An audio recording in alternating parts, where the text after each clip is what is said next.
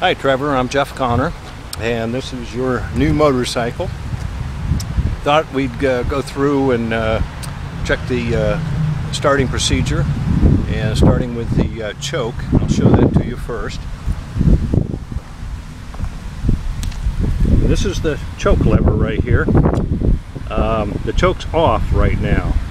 To turn it on, like during cold weather, you just simply move it all the way to the right but it's warm today so we'll turn the choke all the way to the left. Also wanted to show you the uh, turn signals. You had asked about that in an email and I'll show you that right now. Here's the front turn signals. And uh, the rear. I think they look pretty good. I think you'll be happy with that and to turn them on this switch right here.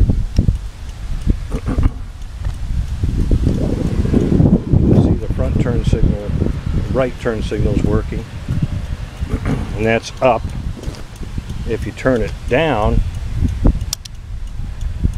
it turns on the left turn signal. And I checked them front and back. They both they both work fine There's the left turn signal, and the right one works as well. Okay, we'll go ahead and uh, see if we can start this thing. The first thing to do after you adjust the choke is to uh, tickle the carburetors.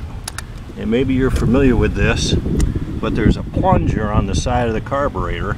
You push that down until gas runs out, and that fills the float bowl.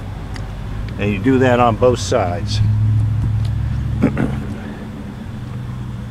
I hope this shows up in the video, but there's the, uh, the plunger right there. And it's just a spring-loaded rod.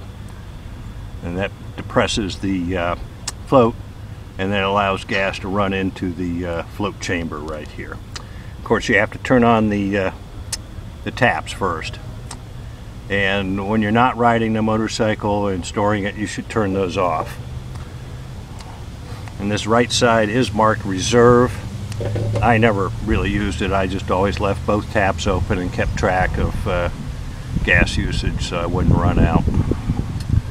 Okay, we'll go ahead and I'm going to turn the video off for a moment and then we'll go ahead and uh, start it.